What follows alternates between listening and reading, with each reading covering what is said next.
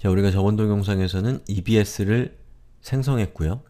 어, 이번 동영상에서는 그 생성한 EBS를 실제로 이 instance에 붙이고 그 붙인 EBS를 instance에서 운영체제 내부적으로 mount하는 방법에 대해서 알아보겠습니다.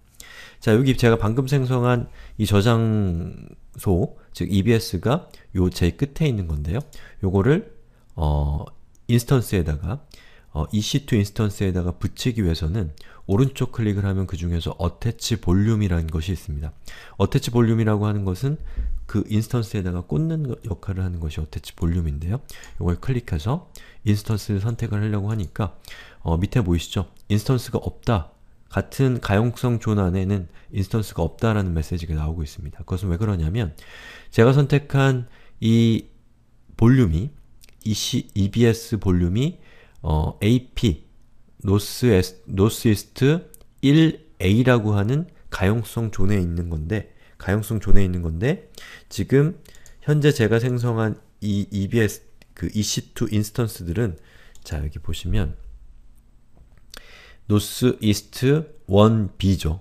즉 가용성 zone이 서로 다른 겁니다. 다른 시설에 있는 장치들끼리이기 때문에 붙일 수가 없다는 거죠.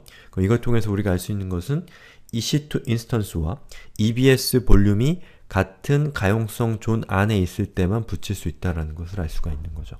자 그럼 제가 이 볼륨으로 들어와서 예전에 제가 만들었던 것 중에 5기가짜리가 있습니다.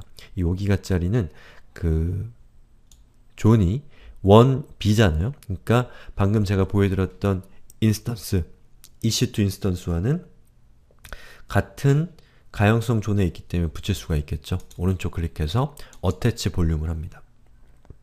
자, instances에서 음, coding everybody를 선택하고요.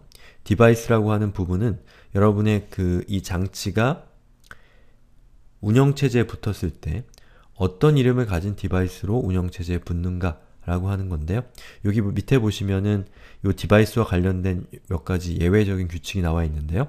여기 있는 내용은 뭐냐면 어, 일부 Linux kernel 중에는 kernel이라는 것은 운영체제에서 가장 중요한 이 가, 코어에 해당되는 거 kernel인데요.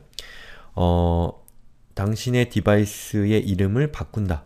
어떻게 바꾸냐면 어, 요렇게 slash dev slash sdf라는 이름을 가지고 있다고 치더라도 어, 운영체제가 임의로 이름을 바꾸는데 어떻게 바꾸냐면 어, xvdf나 xvdp와 같은 이름으로 바꾼다라는 뜻입니다. 자, 그래서 여러분이 요 이름을 가지고 mount라는 것을 하게 되면 mount는 곧 배웁니다.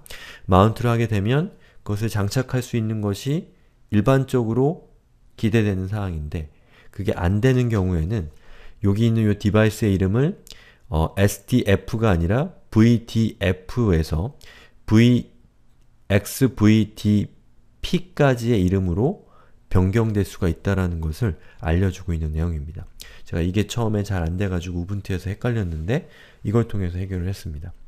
자, Yes Attach를 클릭을 해서 제가 방금 우리가 생성한 어, 생성한 건 아니죠. 요 5기가짜리 EBS 볼륨을 제가 어, EC2 인스턴스에다가 붙인 겁니다. 어떤 인스턴스였죠? 자, coding everybody라는 인스턴스에 붙였어요. 그럼 잘 붙었는지를 확인하기 위해서 제가 밑으로 쭉 내려가 보면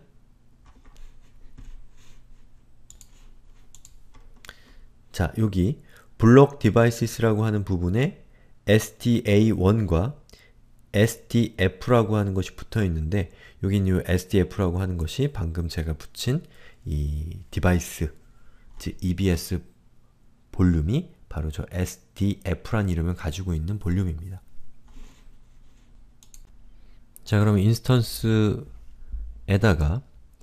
이 EBS를 어태치를 시켰잖아요. 이건 서비스 차원에서 어태치를 한 거고요.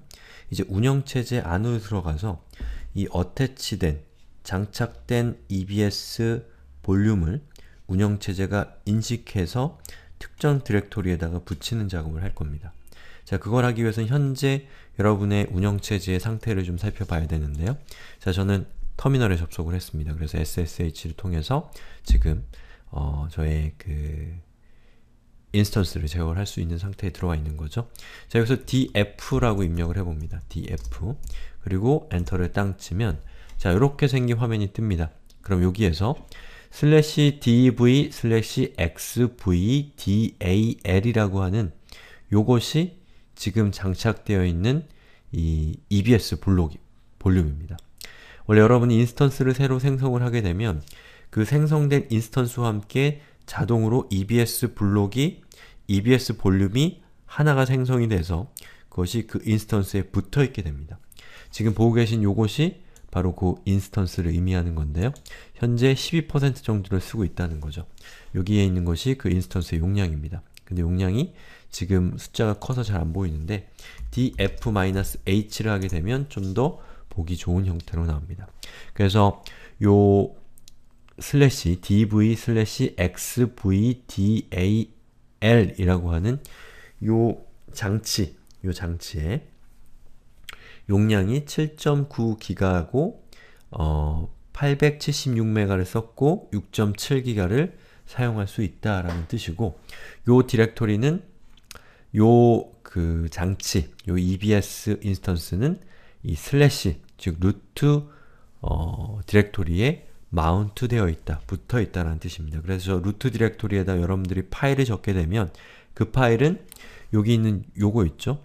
요, 요곳에 해당되는 장치, 즉 EBS 인스턴스에 기록되게 된다는 뜻입니다.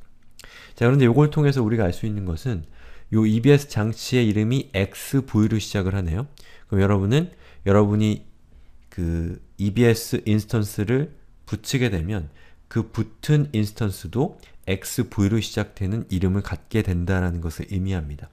만약 여기 있는 이름이 XV가 아니라 그냥 SD로 시작되거나 그렇게 되면 여러분이 그 생성했던 인스턴스를 생성할 때 입력하는 그 값과 똑같은 이름을 사용하시면 됩니다. 자, 그럼 한번 해볼게요. 자, 여기서 얘기한 똑같은 값은 자, 여기서 클릭해서 요 EBS 볼륨, 볼륨으로 들어가서 여기 있는 걸 클릭하면 자, 이렇게 나오죠?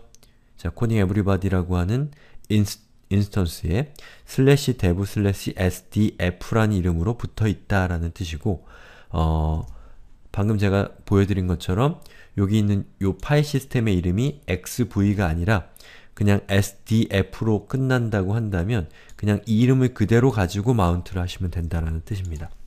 자 그럼 마운트를 하기 전에 여러분이 최초로 생성한 EBS 블록이라고 한다면 그것을 사용하기 위해서는 처음에 포맷을 해야 됩니다. 근데 만약에 이미 만들었던 EBS 블록이고 그 안에 데이터가 저장되어 있는 상태라고 한다면 절대로 포맷을 하시면 안 됩니다. 그럼 사, 사라지는 거죠. 자, 다시 들어가서 여기 보시면 포맷을 할 때 사용하는 명령어가 나옵니다. 그래서 sudo mkfs.ext 라고 하는 여기 .ext라고 하는 것은 이 파일 시스템의 버전, 이 형태를 의미하는 건데요. 이 리눅스에서 저는 최근에 ex, ext4라고 하는 저 버전을 사용을 하고 있습니다. 3나 이런 것들도 있는데 저는 이걸 쓰고 있어요. 자, 그 다음에 슬래시 dev sdf라고 하는 것은 그 장치에 해당되는 그 장치를 어, 포맷하겠다는 그런 뜻이 되는 겁니다. 그래 mkfs 그 앞에 sudo라는 것은 슈퍼 유저의 권한으로 포맷을 하겠다는 뜻이 되는 거죠. 자 그러면 우리가 아까 살펴봤던 요 xvda라는 것 있잖아요. 요것을 통해서 우리가 붙인 장치는 이름이 xvd로 시작된다는 걸 알 수가 있죠. 그럼 저는 여기서 ls-al 그리고 띄우고 슬래시 dev 그리고 슬래시 하고 xv 별표 엔터를 치게 되면 이 슬래시 dev라고 하는 디렉토리 밑에 있는 여러가지 장치들 중에서 xv로 시작되는 것만 이렇게 찾아서 보여주는 거죠. 그 중에서 xvda1은 이미 여기서 사용되고 있기 때문에 얘는 아닐 것이고 xvdf는 현재 장치에 붙어있지 않은 상태이기 때문에 우린 이것을 장치에 붙일 수가 붙이면 되는 거죠. 그러면 어, 일단 포맷을 해보자는 거죠. sudo 그리고 mkfs mkfs ext4 그리고 띄우고 슬래시 dev 슬래시 xvdf라고 하고 엔터를 땅 치면 이렇게 생긴 화면이 뜹니다. 그러면 이제 포맷이 시작이 되고 있는 거죠. 그렇게 해서 포맷이 끝났습니다. 자, 그 다음에 뭘 해야 되냐면 어... 마운트를 하셔야 됩니다. 마운트를 자, 마운트를 어떻게 하냐, 하면 되냐면 이렇게 하면 돼요. 제일 먼저 마운트를 하려고 하는 디렉토리를 생성을 합니다. 그 디렉토리 그리고 마운트를 하시면 되는데 아, 제가 설명을 빠뜨렸네요. 마운트는 무엇이냐면 여러분의 장치, 즉 여기서는 EBS 인스턴스죠. 그 EBS 인스턴스를 여러분이 원하는 디렉토리에다 붙이면 그 디렉토리에다 파일을 생성하면 그 파일은 여러분이 붙여놓은 그 장치로 저장이 됩니다. 이 맥락에서는 EBS 볼륨이 되는 거죠. 자, 우선 그러려면 여러분이 장치를 붙이려고 하는 디렉토리가 없다면 생성을 해야 되겠죠. 그래서 저는 sudo mkdir pice라는 디렉토리를 만든 겁니다. 즉, pice라고 하는 디렉토리를 생성을 한 거죠. mkdir은 dir은 make dir이라는 뜻입니다. make 디렉토리라는 뜻이죠. 자, 이거 카피해서 제가 붙여넣기를 해보겠습니다. 그러면 슬래시로 시작하면 루트잖아요. 루, 루트 밑에 files라고 하는 디렉토리가 생성이 된 거죠. 한번 볼까요? cd 슬래시 엔터 ls-al에서 확인해 보면 자 여기 보시면 files라는 디렉토리가 생성이 됐죠. 바로 저 디렉토리에다가 장치를 붙여서 파일을 추가하게 되면 그것이 그 장치에 저장되도록 할 겁니다. 자, 그러면 어떻게 하면 되냐? sudo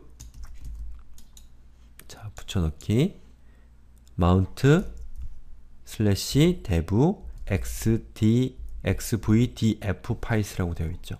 자, 여기 보면 아까 제가 ls-al 해가지고 봤을 때 xvdf였잖아요. 새로 추가된 장치가. 그럼 여기에는 xvdf라고 이렇게 되어 있으면 맞는 거고요. 만약에 위쪽에 있는 이 부분이 다른 이름을 갖고 있다면 다른 이름을 쓰시면 되는 겁니다. 자, 그 다음에 슬래시 files라고 하면 자, 여기 있는 이 장치 dev 밑에 xvdf에 해당되는 장치를 슬래시 files에다가 마운트 붙이겠다라는 뜻입니다. 엔터를 칠게요. 자, 이렇게 메시지가 뜨면 정상적으로 잘 붙었다는 뜻입니다. 자, 그러면 cd 그리고 슬래시 files로 해서 그 디렉토리로 들어가서 한번 확인해 볼까요? 파일에 아무것도 없죠? 자, 이 상태에서 touch A라고 하고 엔터를 친 다음에 자, permission denied가 나오면 앞에다 sudo를 붙여주세요. 그리고 ls -al을 하면 자, 보시는 것처럼 A라고 하는 파일이 예, files라는 디렉토리에 저장이 됐는데 이 files라는 디렉토리는 자, df 어, dev 밑에 xvdf라고 하는 이름을 가지고 있는 식별자를 가지고 있는 장치가 붙었다는 뜻입니다. 그리고 df를 이렇게 해보니까 자 보시는 것처럼 files라고 하는 디렉토리에 자 이렇게 슬래시 dev 슬래시 xvdf라고 하는 파일이 저장된 것을 어, 파이 시스템이 붙은 것을 볼 수가 있는 거죠. 자 이렇게 해서 아마존 EC2 인스턴스에 EBS 볼륨을 붙이는 내용을 지금까지 제가 설명을 드렸습니다. 이런 방법을 통해서 여러분의 그 인스턴스에 저장되는 저장 공간의 용량을 늘리거나 줄이거나 할 수 있다는 점을 어, 기억하시면서 이 수업을 한번 보, 시면 도움이 될 겁니다.